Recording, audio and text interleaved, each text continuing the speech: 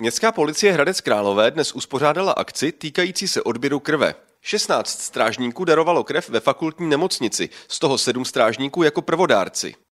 Městská policie Hradec Králové má v řadách eh, spoustu eh, strážníků, kteří jsou pravidelnými dárci krve. Eh, za to byli oceněni i plaketou od doktora Jánského. Ve skupince strážníků, kteří dnes darují krev, je i polovina strážníků, kteří jsou prvodárci. Chceme touto akcí motivovat k pravidelnému dárcovství a zároveň pomoct nemocnici i s nedostatkem krve.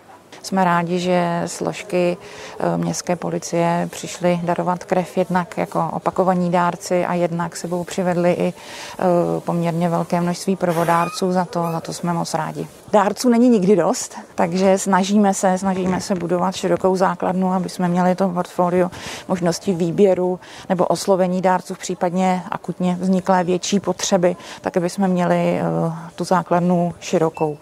Protože krev vyrábíme na základě poptávky.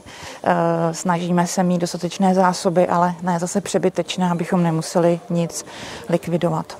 Chcete i vydarovat krev? Veškeré informace naleznete na www.fnhk.cz lomeno transf.